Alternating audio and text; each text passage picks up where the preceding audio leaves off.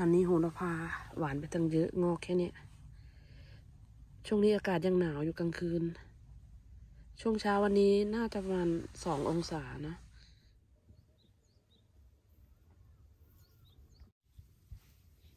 ค่ะ สวัสดีค่ะ วันนี้ก็วันที่สิบสองกุมภาพันธ์เนาะสองพันห้าร้อยหกสิบหกหรือคศสองศูนย์สองสามเนาะ ค่ะสวัสดีค่ะ วันนี้ก็วันที่สิบสองกุมภาพันธ์เนาะวันนี้จะให้ดูเมล็ดพันธุ์ที่จะเพาะวันนี้เนาะกลุ่มประเภทอ่ากะเพราโหระพาแมงลัก หรือบาซิลุเนาะที่คนญี่ปุ่นเขาจะชอบเรียกบาซิลุส่วนอันนี้คือกะเพรากะเพรามันจะมีสองสายพันธุ์เนาะกะเพราอันนี้กะเพราขาวเนาะพุ่มใหญ่ใบหอม เป็นบริษัทนี้สามสามตองสามเนาะตองสาม แล้วก็อันนี้คือกะเพราแดงกะเพราแดงตองสามเหมือนกัน แล้วอันนี้ก็คือแมงลักแมงลักแมงลัก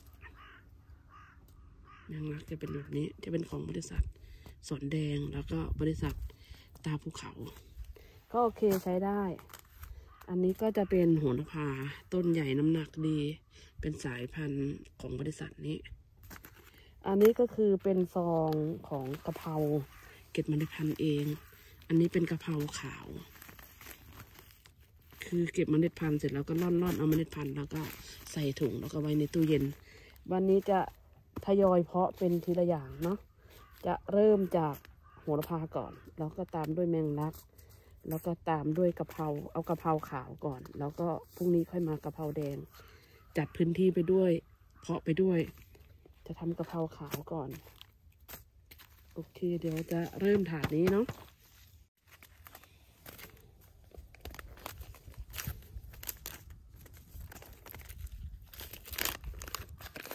เดี๋ยวจะให้ดูเมล็ดพันธุ์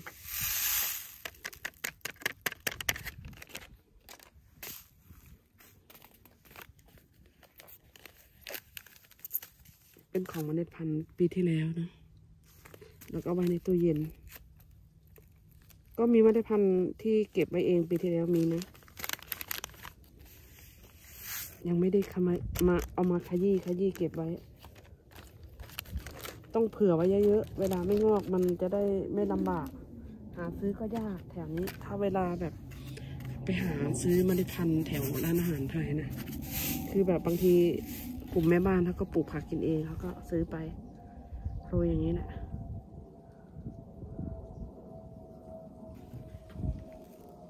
แต่ถ้าทำเป็นแถวร่องเนี่ย แล้วก็โรยลงไปเนี่ย เวลาเราย้ายต้นกล้ามันก็ดีอีกแบบหนึ่งนะเอาแบบนี้แหละ จะโรยสองซองเลย มันจะงอกดีไหมเผื่อไว้ โอเค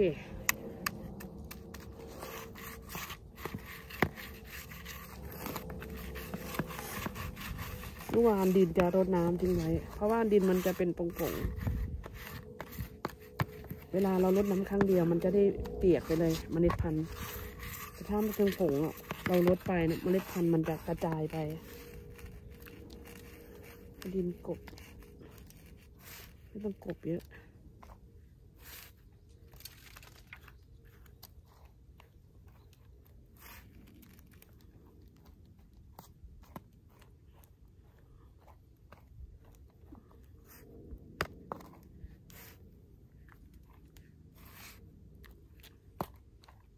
เคเดี๋ยวจะให้น้ำนิดนึง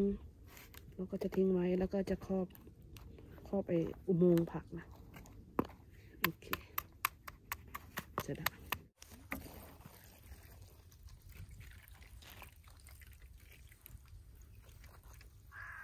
อากาศวันนี้ค่อนข้างดีเลยเนาะอุ่นขึ้นมานิดนึง 14 องศาตอนกลางวัน ช่วงเช้าก็ประมาณ 3 อุณหภูมิ 3-4 องศา อุณหภูมิยอดหญ้าโอเคเสร็จแล้ว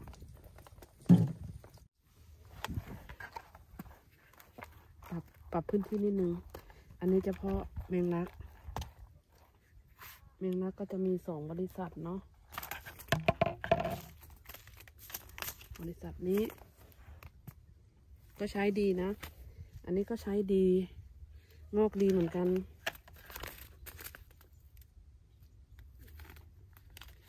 เดี๋ยว ต้องเอาอะไรตัด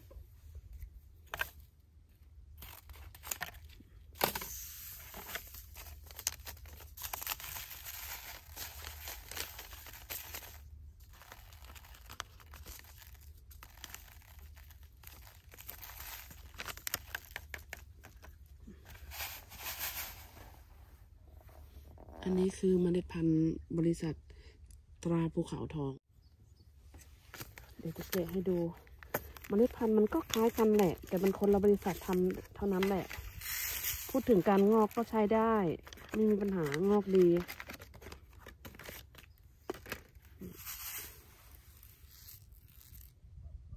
เมล็ดพันธุ์เหมือนกันไหมมันก็เหมือนกันแหละแมงลักเนาะเนี่ยอันนี้ภูเขาทอง อันนี้คือสอนแดง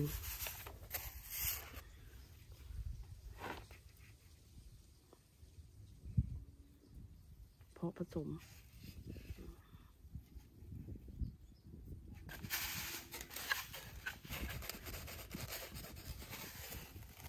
สอนแดงงอกดี เพราะว่าเมล็ดพันธุ์มันจะน้อย ซองหนึ่งก็สี่สิบห้าบาทเนาะภูเขาทองก็จะได้เยอะ ซองละประมาณน่าจะสิบห้าหรือยี่สิบนี่แหละ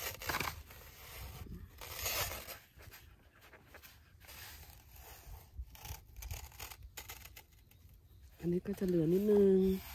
เดี๋ยวจะเก็บไว้ในซองนี้ซองตราภูเขา ภูเขาเนาะ เป็นเมล็ดพันธุ์เปิด เก็บเมล็ดพันธุ์เองได้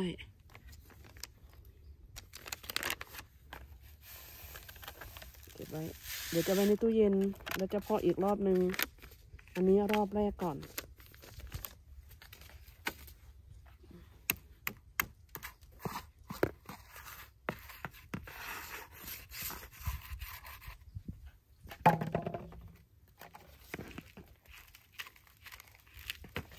ก็เกลี่ยไป แมงลัก เวลาเจอน้ำอะไรนะเมล็ดพันธุ์เขาจะแบบเป็นสีขาวๆฟูขึ้นมาเนาะบางคนเอาไปทำของหวานกินน่ะหรือจะลดความอ้วนเขาจะกินแมงลักเขาว่ามันจะอิ่มนานอะเมล็ดแมงลักแช่น้ำก็ไม่เคยกินนะเห็นแต่น้องคนไทยน่ะที่นี่เขาเขาชอบ เขาชอบกิน แต่กินแล้วแบบ กินไม่ได้กลิ่นมันแรงอะ่ะ ไม่ค่อยชอบเท่าไหร่โอเค เดี๋ยวให้น้ำนิดนึงเสร็จแล้วพอง่ายแต่มันจะมีปัญหาตอนแยก ถ้าอากาศหนาวนะ แยกช้านิดนึงนะจริงๆมันต้องเริ่มแยกประมาณสักเที่ยงหรือห้าโมงครึ่งมาถึงบ่ายครึ่งเนี่ย ถ้าแยกบ่ายสองครึ่งไปถึงบ่ายสามบ่ายสี่เนี่ย สี่โมงเย็นที่ญี่ปุ่นเนาะอากาศมันเริ่มเย็น ดินมันก็จะเย็นเวลาไว้ในอุโมงค์ขนาดมีผ้าขาวหรือพลาสติกคลุมนะ มันจะเหี่ยวตายง่ายง่ายพอๆกับกะเพราเลยแมงลัก แต่โหระพาไม่เท่าไหร่โหระพาไม่เท่าไหร่ ก็โอเคใช้ได้ โอเค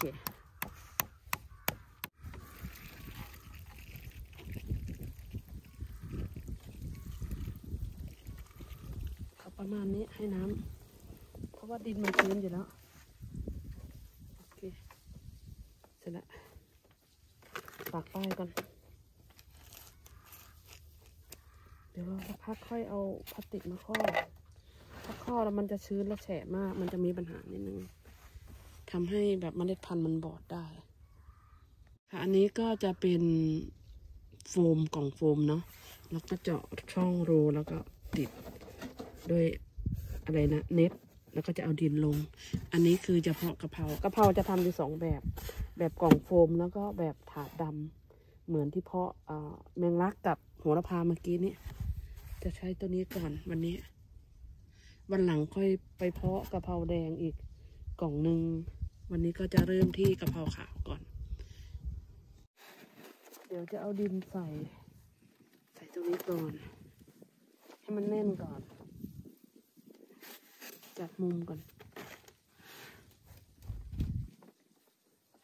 อันนี้จะเป็นดินดีขึ้นมานิดนึง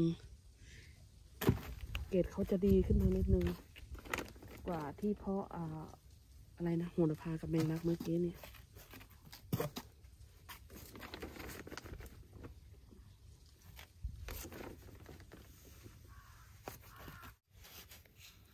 จะใส่ดินค่อนข้างขึ้นมาเกินครึ่งนะ เพราะว่าถ้าใส่ดินน้อยเวลาเราเพาะต้นกล้า ต้นกล้ามันจะขึ้นมาแล้วทีนี้แสงอะ่ะ มันมันส่องไม่ถึงเนาะมันจะลึกไปอะ่ะ มันก็จะยืดหาแสงแล้วต้นกล้าจะผอมไม่สมบูรณ์ วิธีสังเกตง่ายๆ หรือวิธีเราดูเนาะจากข้างบนเนี่ย บนเนี้ยจะเป็นกระถางก็เหมือนกัน จะเป็นกล่องโฟมเหมือนกัน จากระดับนี้ถึงนี่ประมาณนี้ สามข้อมือเราก็ได้นี่สามข้อมือจากนี้จากบนมาถึงระดับดิน โอเค ประมาณนี้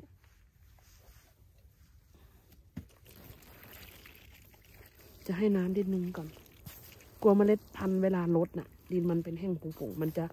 ลอยไปแล้วมันจะไปกระจุกเวลามันงอก เพราะว่าใช้เขาเรียกอะไรฝักบัวเนาะมันจะ แรงของการรดมันจะมันจะเยอะกว่าที่เราใช้ไอตัวสเปรย์ฉีดฟอกซี่เนาะเดี๋ยว เดี๋ยวสักพักก่อนทิ้งไว้สักพักก่อนเนาะ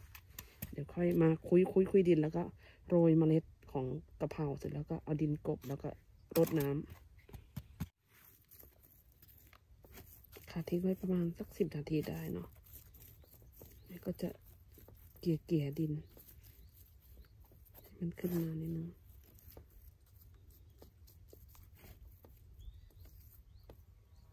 โอ เคเป็นละเป็นบริษัทนี้นะ มีหลาย ๆ คนถาม เออ ใช้บริษัทไหนดี บริษัทไหนก็ดีหมดแหละ แต่ส่วนมากจะใช้บริษัทนี้แหละราวๆนี้แหละ AA สามสามสามเนาะตองสามแล้วก็ภูเขาแล้วก็สอนแดงประมาณนี้เมันพันจะเล็กนิดนึง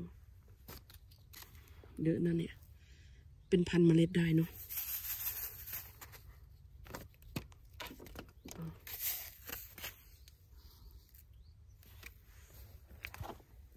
ดี๋ยวมาดูกันว่ามันจะงอกตามที่แบบโรยลงไปเยอะๆไหม จะใช้สองซองนะ ด้านนี้เป็นซองเนี่ยโรยลงไปเลย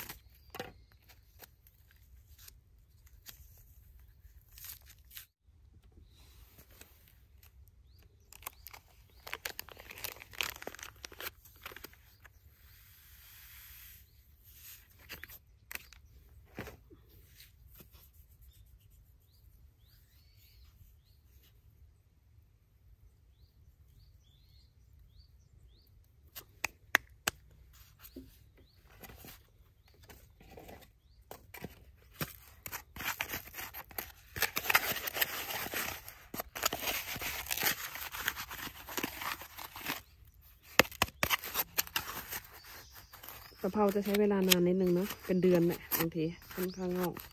ก็งอก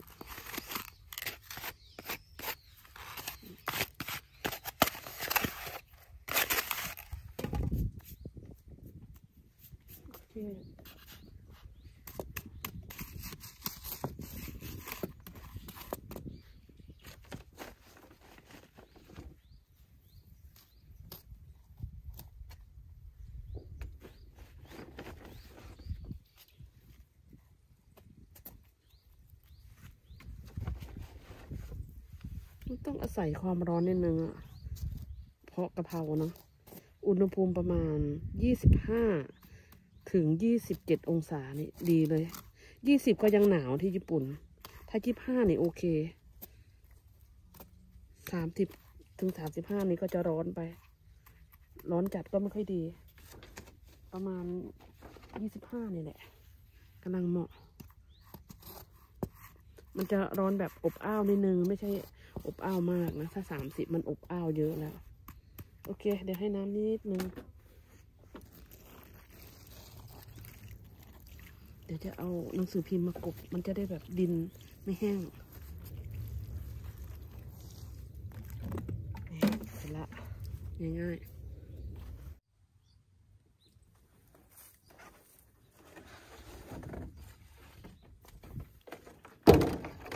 บนี้ก็จะใช้ตัวนี้ครอบไว้ ก็ไปไว้ในอุโมงค์ผัก ที่ทำชั้นวางไว้เนาะ ถ้าว่าข้างนอกไม่งอกหรอกต้องอาศัยกินเฮาเพาะผัก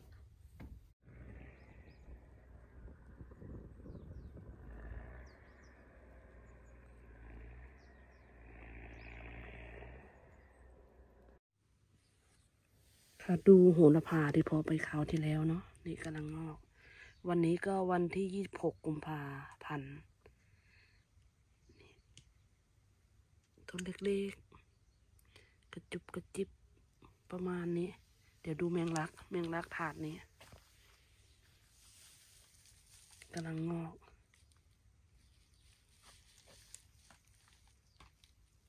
เดี๋ยวไปส่องกะเพราเนาะ อันนี้เป็นกะเพราเนาะนี่กะเพราในกล่องโฟมยังยังไม่มีวี่แวว ปิดไว้ก่อน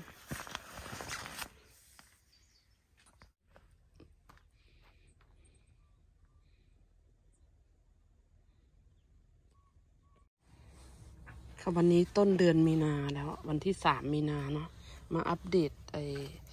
พวกกะเพราโหระพาแมงลักนี่แมงลัก ขนาดหวานเยอะนะเนี่ย งอกแค่เนี้ยแมงลักนี่เดี๋ยวดูกะเพรากะเพราเห็นนิดเดียวเห็นไหมนิดเดียว ยังไม่เต็มที่นี่คือกะเพราเดี๋ยวดูโหระพาเนาะค่ะดูถาดโหระพาเพอไปตั้งเยอะงอกแค่เนี้ยตอนนี้อากาศก็ยังหนาวนะ วันนี้ก็ประมาณสององศา มีน้ำแข็งลงนิดนึง สายๆน่าจะอุ่นขึ้น เห็นพยากรณ์อากาศว่าสัปดาห์สัปดาห์นี้จะอุ่นเนาะที่ญี่ปุ่น ถ้ามีแสงสว่างก็ดี ผักมันจะได้อุ่น แล้วก็โต เพราะว่าเป็นการเพาะแบบธรรมชาติไม่ได้ใช้อะไรมาช่วยเราอากาศอุ่นอย่างเดียวกลางคืนก็หนาวประมาณนี้ในกรีนเฮาส์ถ้าข้างนอกนะลบห้าลบหกข้างในก็ประมาณศูนย์ถึงลบสอง องศาประมาณเนี้ย